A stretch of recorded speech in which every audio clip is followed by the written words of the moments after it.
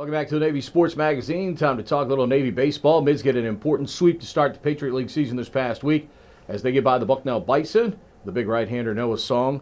For from a team standpoint, how big for you and your teammates to get four right out of the box to start this Patriot League season? It's uh, it's awesome. Um, conference play is always very important. Uh, you know, starting off on the right foot is always a big deal, especially uh, you know non-conference in the very beginning. We were struggling a little bit uh, to start off, but um, you know, at the end of the day, I think we realized that conference play really, really is what matters at the end of the day. So, you know, to uh, you know be undefeated so far, that's something that we're definitely looking for. All right, big fella, you've been setting the tone here uh, as the top of that rotation. Does the feeling get any different as each year has gone by here for you, knowing that you're the guy in game one trying to, to set that tone right away for your club? Uh, yeah, absolutely. You know, sometimes, uh, sometimes I, I almost feel like I'm the one trying to trying to keep up uh, with our pitching staff sometimes because they're always they're always working hard. They're always pushing me every day. You know, um, through the fall, I could tell that we had a lot of arms that were gonna, um, you know, really uh, compete with each other as far as uh, getting getting some innings and getting some roles. So uh, they've kept me pushing in the right direction, and uh, really, I'm just trying to set a good example and set a good pace for them, and make sure uh, you know they're they're not led astray. So I was gonna say though, is that a good thing to see, and part of the reason why this has been such a consistent 30 win culture?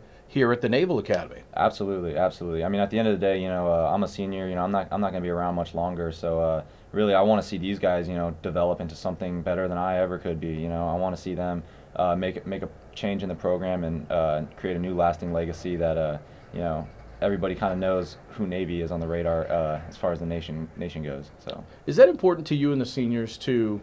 You know, not obviously you want to win every game. We, we know that it's a results-oriented business, but at the same time, do you feel a responsibility to keep this culture where it's been and, and even try to improve it each year that, that, that you all have been here, especially now that it's your senior year? Yes, yes, that's definitely uh, that's definitely something that we talked about a little bit, and uh, we try to try to do our best. You know, keeping uh, keeping the culture alive, keeping the team in a in a winning standpoint and everything. But um, you never want to put too much pressure on yourself because at the end of the day, you are going to have different people on the team, um, different talent levels. Um, you know, I think I think we have the talent level, but I think it's just uh, a matter of kind of uh, putting our team together, having the, the, the good team chemistry, which I think we've done a pretty good job of having everybody kind of bond together a little bit better this year. So um, overall, yeah, I think uh, it's coming together well. All right, you look back through the years now. You're one of many. We see freshmen on this team already making a a name for themselves. What is it about this staff, as a coaching staff in particular, that A, finds good pitching prospects, and then B, cultivates them and coaches them why they're here? I mean, it happens all the time with this group, it seems. Yeah, you know, uh, if I had the answer, I guess uh, I guess I would end up being a a D1 pitching coach one day. But uh, well, you could be at some point. yeah, I mean, your resume yeah, you're building right now is pretty good. I, I just I'll, I'll yeah. let you know that. Yeah, but uh, no, you know, all the credit really, uh, as far as on the pitching side, definitely goes to Coach Applegate. Um, you know, he's able to find me, find Luke before me, find everybody, you know, that has helped to, uh, and really just find people that uh, are really bought into the program, bought into the staff, um, willing to put forth their effort, uh, even when they're not feeling great.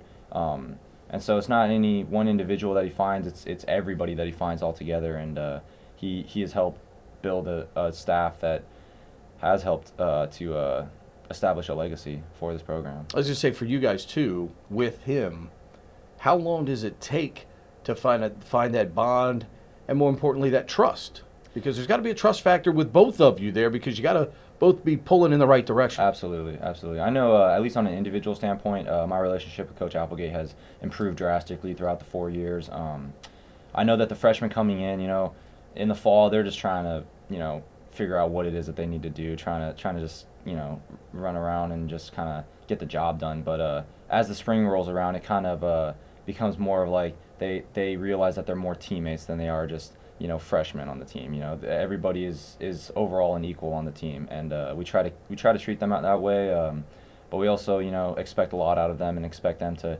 keep pushing themselves. So um, yeah, I mean, I think. Uh, I think everybody's done a good job of trying to just fulfill their role, uh, not do too much, um, especially with how young of a staff we have.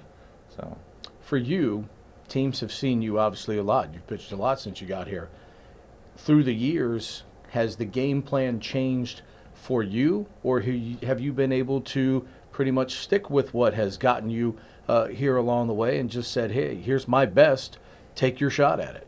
Um, that's something uh, our coach brings up a lot. He says uh, we always want to work to our strengths um, over their weaknesses. Meaning, uh, you know, it, I'm a right-handed pitcher. You know, like I'm gonna have a, a different, you know, pitch to throw to right-handers than a lefty would. Um, but at the end of the day, yeah, uh, these guys have seen me quite a bit now.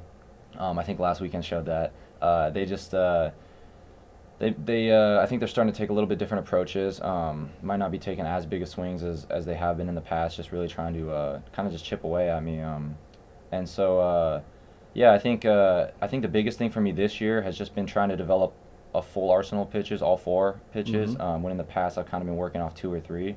Um, and I think this year those four pitches have really allowed me to kind of throw to you know either side of the plate to any hitter in any count. Um, and it kind of has just widened my game and uh, just overall just kind of uh, given me more options. Is, is it a constant challenge to find the right sequence? And, you know, obviously everybody expects an 0 and 2 pitch, maybe to be up and away, low and away is a waste pitch, but you may want to come in there and maybe surprise the guy with a fastball in the inner half or something like that. Is, is that a constant challenge trying to find that, that sequencing that can serve you best? Yes, absolutely. It's a, it's a constant cat and mouse game with the hitter. Um, you know, you're trying to guess what they're guessing. So uh, at the end of the day, you know, uh, there's multiple pitches that could work in any count. Really, um, it really just depends on uh, what you think the hitter's looking for in a certain situation or what you feel best with um, as far as pitches go. So uh, yeah, I mean, and, some some days there will be a pitch that doesn't feel as good for me. You know, if my slider's not working as well, then I might have to go more to changeups or you know curveballs or even back to fastballs. But um, and it also you know you kind of uh, you kind of start to get a feel of like the timing of the hitters and their swings and everything like that, and you just kind of like uh, I guess that's just part of uh, being around the game for a while and just kind of having that feel for the game. I would say you've been here before. Does that ball in February and March, is it still difficult to get a grip and get a feel for sometimes? Because I, I imagine pitching when the weather's in the 30s and 40s uh, this time of year, even for an established pitcher, it still can't be an easy thing. Yeah, absolutely. Uh, you know, cold weather uh, it, it never helps the pitcher per se, but um, you know, I mean, hitters don't like to hit in it either, uh, for sure. Um, Mm, You so- run an inside fastball on me, Hoss. if I hit that, it's going to hurt my hands. I can tell you that. Yeah, no, it uh, so it definitely cuts both ways. Um, I just try to see it as as exactly that. I try to think of it as an advantage to myself rather than a disadvantage. Um, I think it's more of a mindset than anything. Um, and you know, once once you get going in the game, it's not you don't really feel cold at all. You know, you, as our coach says, you're the warmest guy in the field when you're a pitcher. You know, you're always moving around. So, um, yeah, I mean, once the game gets rolling, you never really think about the weather too much. All right, continued success. Best of luck to you and your teammates this weekend against Holy Cross and Army. Thank you. All right, Noah Song joining us here on the Navy Sports Magazine.